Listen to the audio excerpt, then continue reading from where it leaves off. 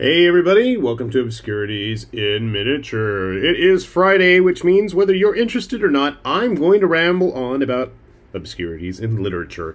Today's book, which hopefully will get some new eyes on it, is the book Dungeons and Drawings, an illustrated compendium of creatures by Blanca Martinez de Rituerto and Joe Sparrow. So, anyways, this book came to my attention just because of its unique take on all the various fantasy monsters that always seem to end up in, you know, the typical monster manual type books.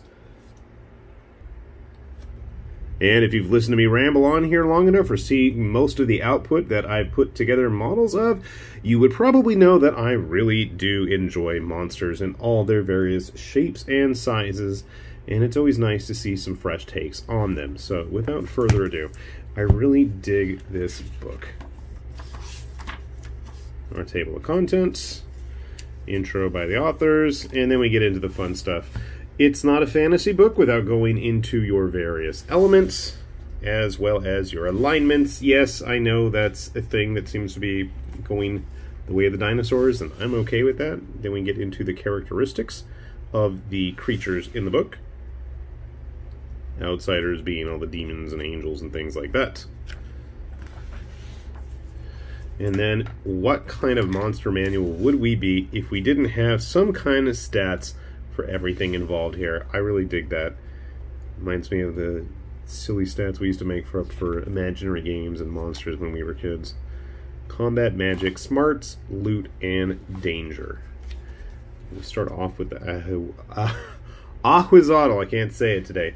Um, so you get all your stats on our monster here, the type, the element, and the alignment, and then some interesting facts and adventurer tips on them as well. So, angels, I'm going to flip around the Bacchae, Bacchae, I'm not even sure how to pronounce that. Bad clowns. Bajong. Banshee a Bahoot Boot Onryo. Onryo, I know. Bomb plants. Cave spirits. Chimeras. Good old cockatrice. The Colossus. I'm flipping a lung dragon. A good dragon. An evil dragon. Smoke demon. A ghoul. A ghost. Firebat. I like that. The Ettin. Definitely some unique takes on traditional monsters.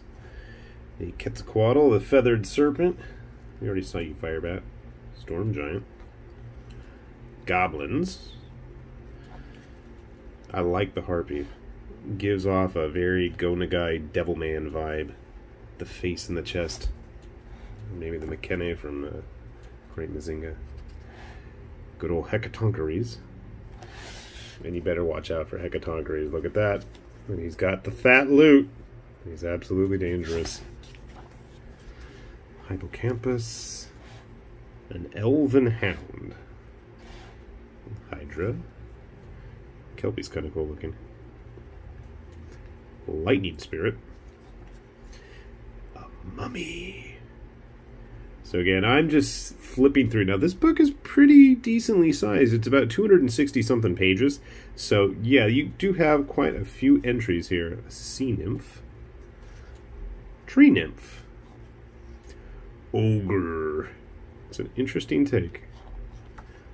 I dig the Oni, but I like Oni anyway, so that should come as no surprise. First, I thought these were extra eyes, and I realized later on they're all metal studs stuck in him. Parasitic Vine. Senmurv. Persian monster. Serpent Folk. Criosphinx. Spriggans. Oh, I skipped one I like here. Let's find him.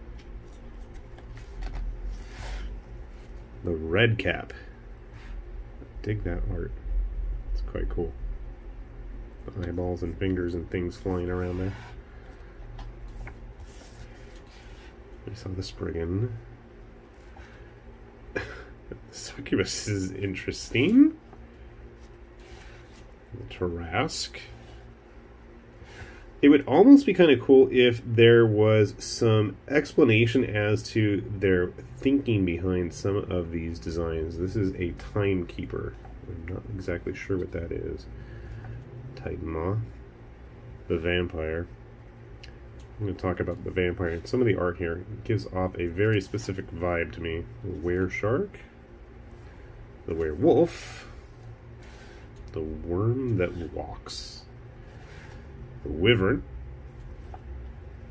and then in the back we have a nice, we got a zombie too, index of further references for those of you who want to really dig out some interesting stuff. These are all books we get into various types of media and even video games, which is actually kind of surprising. Shout out to Gloomhaven there. Sadly, there's no Kingdom Death. We did have Okami, though. Okami was a great game. Divine Divinity. I have a lot of fun with that one. Shadows of Colossus. No surprise there. Pokemans.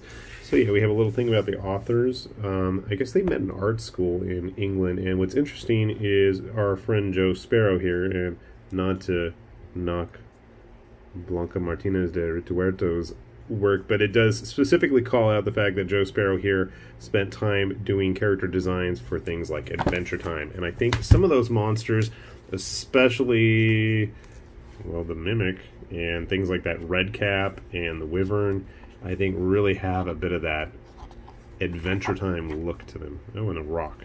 I guess the red cap's right before him. Ugh. Yeah. Fun stuff. Honestly, some of the work really reminds me of Andrew McLean's Headlopper comic. And I think I brought this one up before, but I absolutely love Headlopper, and I will recommend it to the ends of the earth. And I think that zombie really reminds me of the witch the blue witch in this.